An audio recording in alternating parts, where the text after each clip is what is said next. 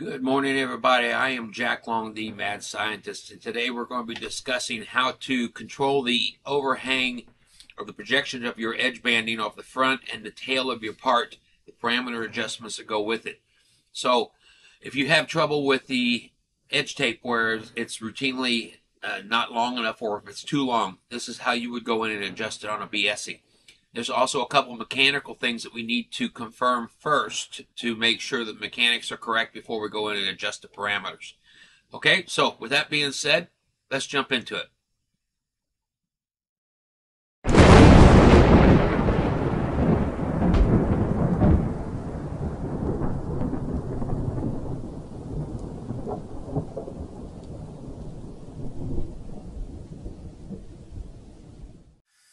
All right, so we're going through and making sure that the side presser of the magazine is correct. There is a number of times when people will complain that the overhang on the front or tail of the part is wrong, and we can go into the computer up in here and modify the parameters and make sure those are correct. But what we want to do is avoid that if we can, because a lot of times the problem is mechanical in here and it just shows up periodically because uh, you know the machine's age and as the pneumatics change, uh, just the way it is. It's a machine. So people will start to complain, and immediately the first thing they want to do is they want to go up there and they want to monkey around in the parameters up there when their problem is down here. So if you don't fix this problem, the solutions in the parameters is only a temporary fix, and then you start adding uh, extra complexity to your problem. So what we're going to do is we're going to turn off the air cylinder here. We're going to open this up and this particular machine has a guide that I can take off and hold in my hand. If I can get it where it's at, get it loosened up. All right, so I set the camera down off to the side so I can extract that because it uh, it was a little tight in there. This is the back side of the shoe. So what we see as this is in here. This particular machine has a removable shoe. Some do, some don't. Uh, depends on what, what class of machine it is and what options were bought on it, stuff like that. So anyway, what happens in this is if you go in and you look at this face of this, you will see I've got a white roller here. This white roller is supposed to be, oops, sorry, lost you out of the camera. This white roller here is supposed to be proud of this surface. And what that does is when your pin roller jumps in, sorry, let me get this where it's in the camera. Here I am talking and can't even see it. When this pin roller jumps in, it's supposed to push against this. So what happens over time is this, this white roller will get pushed backwards. And as it goes backwards into it, this aluminum face of this becomes proud of your roller and creates resistance. So at that point, what happens is, depending on what your edge product is, instead of rolling on this nice smooth roller, it's now pushing against this face and creates resistance. So it creates problems for your front end being routinely correct. And what you're going to want to do is you're going to want to loosen up this bolt. That bolt is in an oversized hole and you're going to tap it forward and it needs to be proud of this about 0.5 millimeters or so, not very much. If it's too far proud of it and you're running plastic strips, plastic laminate, then what can happen is from this point to your gate, get this over here, from that roller, which is here, to your gate, which is here, your, your banding, your rims can bow out. And if it's the thin vertical grade, it will catch on this. And vertical grade's hard enough to run the way it is, let alone if, if the machine has got other issues. So if that if that roller is too far this way, so the shoe is proud, it will create drag here. If the roller is too far that way, it will create deflection. So you want to have just a little bit in there so that it has enough that when this roller here jumps forward, that it can pinch against your roller. That is most of the problems that I see in that roller adjustment there or when you're doing your in feeds and they're not matching correctly. Now, where that problem comes from, what causes that actual problem is the operator, and it's usually the ones that are fresh operators, the newer ones, is when they go to reload this, you need to slide this shoe back forward by hand before you engage the air. Because if you don't, that thing goes slamming forward at full speed.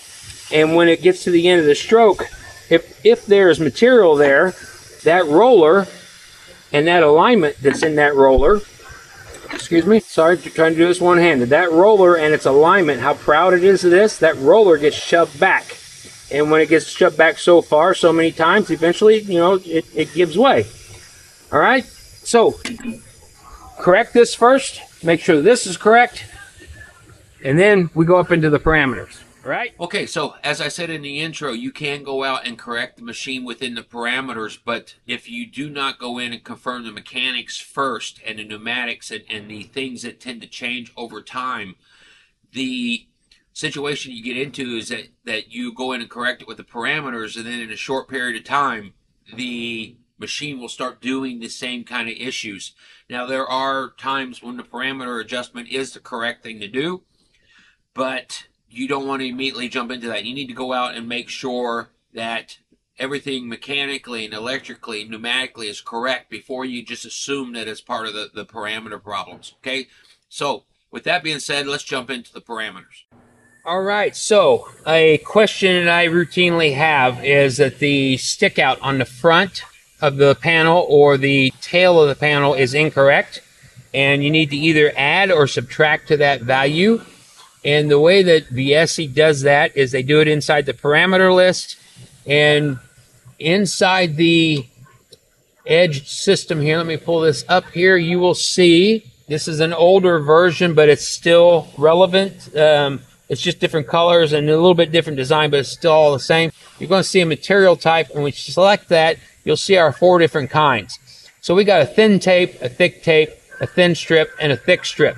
All four of those modes react different for your pin roller. Uh, if it has a pin roller, and some of the machines don't have pin rollers, they got the little pullback device, but nonetheless, those four products all have different interactions, and it's based on weight, um, the density of the material, whether or not you're needing to feed the, the material up a little longer. As a for instance, if you're doing your heavy banding, which is number four, when you've got your band and it's coming up and it's pressing in your side roller, it comes in at an angle, and depending on how rigid it is, sometimes it will get some drag back. So as your panel is coming through, it wants to pull.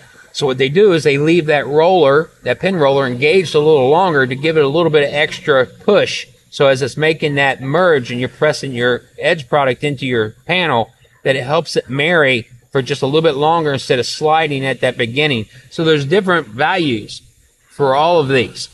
Okay? If you have one that's on the tail, for instance, so you're doing one of your, your coil stocks, the length of your tail is governed by your guillotine. So if we go up to this and we're going to look at our tools, the first thing we're going to do is we're going to go into our password and we're going to log into the parameter area. If you do not have the parameter password or the forcing password, then you need to reach out to Biesse and get that from them. Talk with them on the phone because typically we're not going to give you these passwords because if you don't know what you're doing in here, you can screw a lot of stuff up.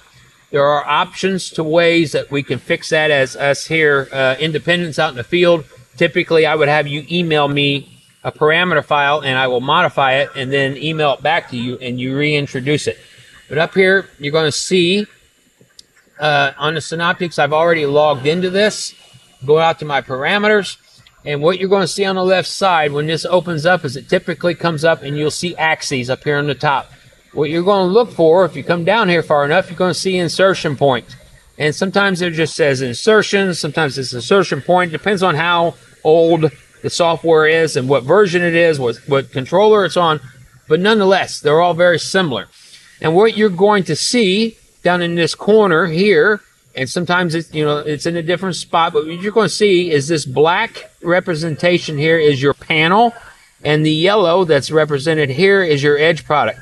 And you're going to see two characters here. That says fw and bw and that's forward and backward. And what that is is that's the front edge of your panel back edge of your panel. Then you're going to see indications for a negative and a positive. So if i'm referring to the front of my part then what it's going to do is if I decrease my number, it's going to make it longer. If I uh, increase my number, it's going to make it shorter. So if I got that overhang and I want to make that overhang longer, I move the quota negative. If I want to make that overhang shorter, I'm going to move it positive. Then, in addition to that, you will have on the rear, you're going to notice there in reverse orientation. So if I want the, the tail to be shorter, which is governed by your guillotine, then you're going to move it positive is going to make it shorter and negative is going to make it longer. So what you had to do is you had to identify which side we're going to be working on as to which station that we're going to or, or what parameter we're going to change. Then over in your parameter list, you will have um, a whole series of, of, of um, values here. And the one we're going to want to look for is the delta. It's usually the third or fourth one across. This one they're calling it delta, and you'll see here values here that increases as it goes through the machine. What that quota represents, if I can get this over here. Sorry if I lose you here for just a second. What that value represents is from your, your in-feed switch that's down here to where the station is located at inside the machine. So if I have a number in there that's about a thousand-ish or so, if I measured from that switch back here to up to whatever it is that I'm moving, that's going to be about, a, a give or take a little bit, a thousand. When I go up to my side pressers, and I got another quota. When I go up to this one, I got another quota. I go up to this one, I got another, so on, all the way through the machine. Now, I cannot tell you if the action is to turn something on or turn something off because it depends on what the function of that station is going to be. So what I can tell you is that this quota controls a an action. Sometimes that action is to turn something on, sometimes it's to turn it off. That's beyond what we're going to discuss here. But what we care about is this quota right here, this delta. So I know because I've done enough of these that I know in here that this quota here is about 1,000. That is my pin roller. But you'll look in here, if I can zoom in on it enough, if it's not too fuzzy, I apologize. The, the camera wants to see the, the face of the controller, not the words. So sometimes it's a little fuzzy. I have in here 1040, 1040, 1040, 1050. And what that value is, is that is when the pin roller jumps in and jumps out. I do not want to change that quota. What I want to do is I want to go over here to the one that says quote. And you'll see on it, says quote in, quote out. So that quota is in relationship to the front of the board. And this quota is in relationship to the front of the board because I'm dealing with that pin roller. If I go over onto this side, you'll see here it says TN roll pin roller. And I have one that's TK roll pin roller. And depending on, again, which version of software it is, they may name them just a little bit different. Sometimes it will be uh, TP and TR or something. Anyways, it's an acronym. It matters something in Italian. Um, and then right below it, you're going to see one that says like uh, thin thin strip or thin something like that, and you'll have another one that says thicker. But anyway, it's always these four that's right here grouped together. They always share this common number. And if you go over here, you'll see they share this common grouping. So on here, let's say for instance, my thin tape was overhanging um, too much. I could go into this quota. This number is in millimeters. So if I adjusted that quota down and I moved it from negative 10 to negative 5, that overhang is going to be 5 millimeters shorter. Okay? Now, in a perfect world, this quota should actually represent how much of that overhang is actually there. But as these machines age, then the pneumatics change, and there's a lot of little variables in it. So these quotas here no longer actually represent a true quote unquote measurement. But what you're going to do is you're going to make an adjustment to that, whatever that is. Before you make that adjustment, we need to make a backup of your parameters. All right, so we go down here to save on file, down here, and I'm going to go out and I'm going to create a date, represents today, and I already have that in because I've been making a few of these videos, and then you hit save. And what that does is that creates a backup of where we are at today, so if we make a mistake, we can always come back. And when you look at this, you can see in here that I've got quite a bit of these backups. I've got a bunch that's in here. So every time that I'm out servicing this machine, I make a backup because uh, I, I do enough caretaking of this machine that I like to keep a history of it. All right, so what we're going to do is we create that backup so that we can come back from it. The other thing that saving it on file does is it creates a boot file so that we make modifications to this and we shut the machine down, we come back, that it reboots to this screen.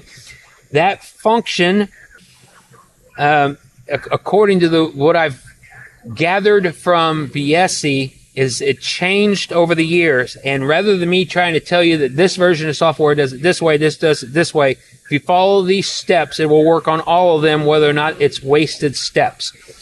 Okay, um, it's easier than trying to figure out which version you have. So in here we go in and we make a modification of this, and then when I hit uh, enter on that, I change that modification. I go to download. You'll see that it does this blinky blinky things down here. Exits out of that. Then we go to upload, and the download takes the numbers from here, sends it out to the machine. The upload takes those numbers, brings it back into the supervisor. That's the way I understand it. It thinks. Um, and at that point, we start the machine up, run the recipe, and test it and see if it's giving us the correct value that we want. All right. Once that we have done that, we go back out to our parameter page. We repeat those processes until that overhang is the way we want it to be.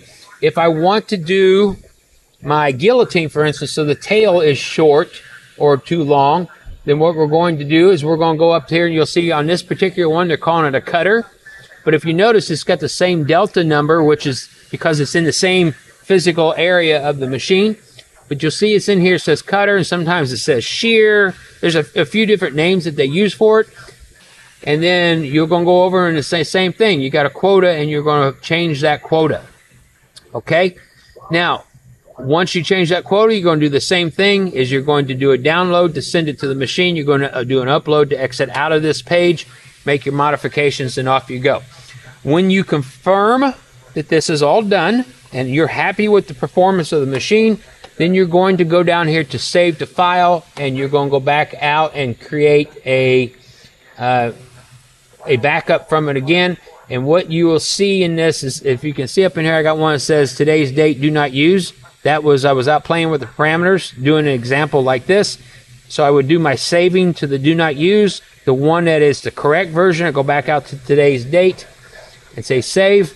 That writes it to the boot file. Last thing, I do my upload. So I, while it was booting, I go to my download, save it, upload, brings me to this machine, or, or back to my Sintra, and once you do that, the very last thing we do before we walk away, we shut down the machine 100%, start the machine back up, make sure anything that we changed has been memorized because more than once we get interrupted and we want to make sure our processes are followed through. Okay? That's all there is to it. Now, one of the things that I can't stress enough on this is that when you're in here and you're going to be doing any of these adjustments for your your uh, front and tail of your material, and you're going to go in and make an adjustments to these, is you have to make sure the machine is correct first. Okay, so I've got a video out there for that side presser bar and all that. Um, so you got to make sure that that is correct first because if the mechanics aren't correct and you correct it inside the parameters, you haven't fixed the problem. You've just changed it and you've added to your problem. All right. Okay, so that's how you make those adjustments in the parameters and how to recover from the parameters if you need to. And as always, guys, when you're making these adjustments, write everything down so you know exactly what you've done. Because if if, if you are in this level of the machine, chances are you're going to get interrupted, and you want to make sure that you've got everything documented so that if you have to make an adjustment backwards and undo something you've done, that you've got documented notes for it. I can't stress that enough. Okay, so as always, be safe out there, guys like, share, subscribe, comment, and as we always say, let's go make a million.